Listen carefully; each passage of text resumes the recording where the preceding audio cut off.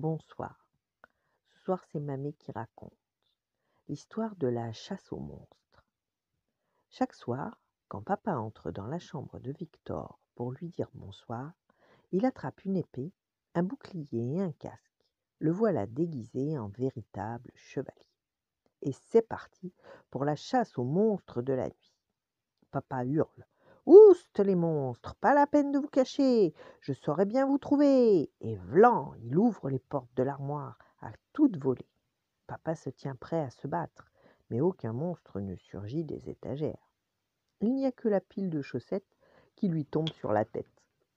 Papa lève les yeux, des ombres s'agitent au plafond. Papa menace. Oust les monstres, pas la peine de grimper, même là-haut je saurais vous attraper. D'un bond, papa saute sur le coffre à jouets et schlac, schlac, schlac, il agite son épée dans tous les sens. Il saute, il se penche, il se cogne sur la lampe et boum, balaboum, il dégringole sur le tapis. C'est bon, dit papa. Cette fois, tous les monstres sont partis. Papa se relève et s'incline. Victor applaudit.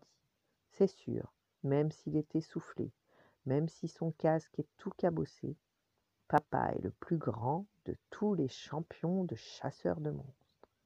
Et maintenant que la chasse est terminée, il est l'heure de se coucher.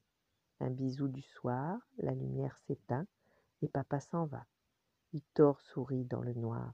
Peut-être qu'un jour il devra lui dire Tu sais, papa, je n'ai pas peur des monstres de la nuit. Voilà. Bonne nuit, faites de beaux rêves et à demain.